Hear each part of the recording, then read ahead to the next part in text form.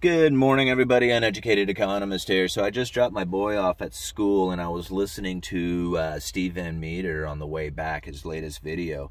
Uh, he said something very interesting in there that I didn't really know about, and it makes a lot of sense right now, considering where the interest rates on like the long year, long long term bonds are are headed. Um, very interesting times. People, I mean, I'm trying to figure out exactly what it is that's taken place here.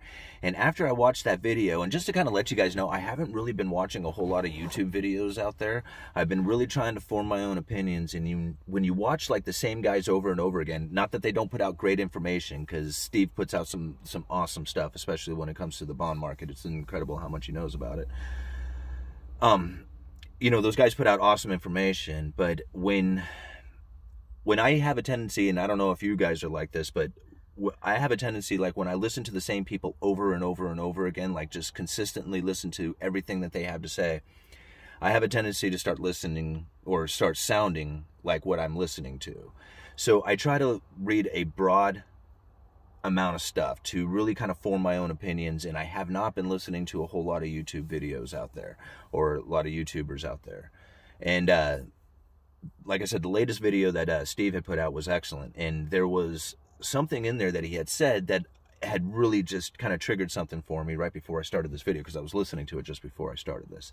And uh, what he said was is that there's like pretty much computer algorithms that are kicking in. So as the prices start to drop, then those computer algorithms are kicking in saying, hey, we need to sell. You know, they got like the stop loss, you know, uh, orders in there which basically says what starts triggering sales. So as you know, this the price starts to come down, then more sales start kicking in, triggering more and more and more of these sales.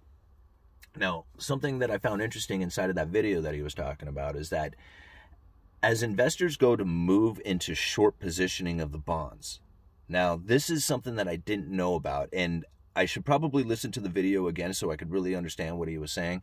But from what I understand, when they move into this position of, of a short position in bonds, what you are essentially doing is you're going to somebody who owns the bond already and saying, hey, let me borrow that bond for a little bit. I'm going to go sell it on the market. And when the price drops even more, I'm going to buy it back and give it to you. And I'm going to keep the difference in between. That's essentially what shorting the market is in the most simplest of terms.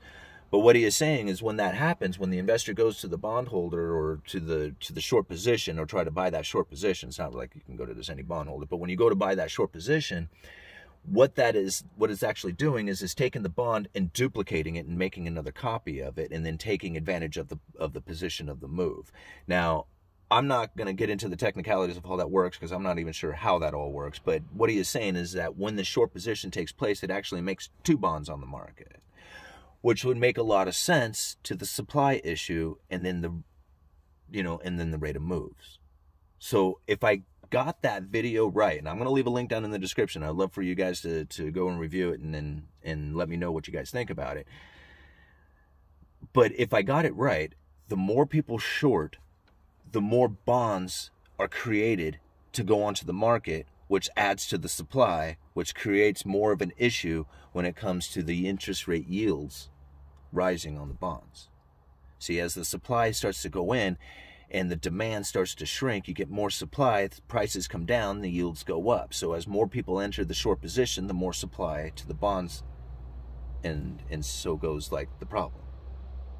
Does does that make sense? I mean, I that's at least from what I was gathering out of Steve's video. That's what I that's what I was gathering from it.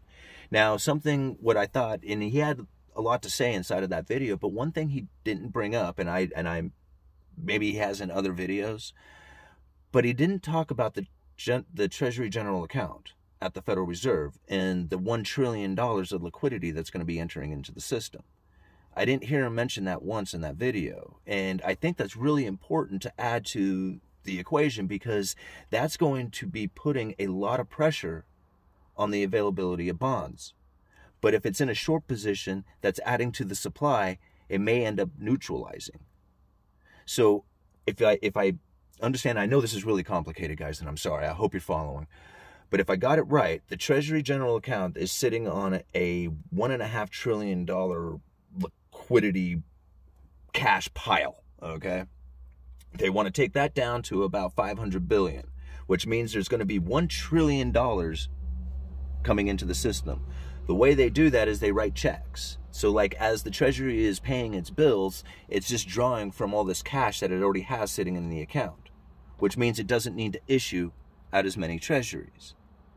At the same time, as these bonds start to drop in price, people are shorting them, which is adding to the supply, if I'm understanding Steve Van Metre's video correctly. So this is like kind of leads me to believe that if the interest rates continue to rise on account of the supply issue that is growing, then the Treasury really doesn't have to worry about adding to the supply of bonds to keep that system functioning because it's already being duplicated with the short position. and and they can continue to pay their bills drawing down on this 1 trillion dollars they already have at the cat as cash. So it's not going to like really affect the government's business. They already have the cash to do it. And as far as supplying the markets out there with all the bonds that you know are in demand the short position is creating that. And also the interest rates are beginning to rise on account of this you know of the of the sale that has taken place the selling which is going to correct or hopefully correct the irrational exuberance that has taken place inside of the real estate market, inside of the stock market. And now, you know, obviously the bond market is starting to turn.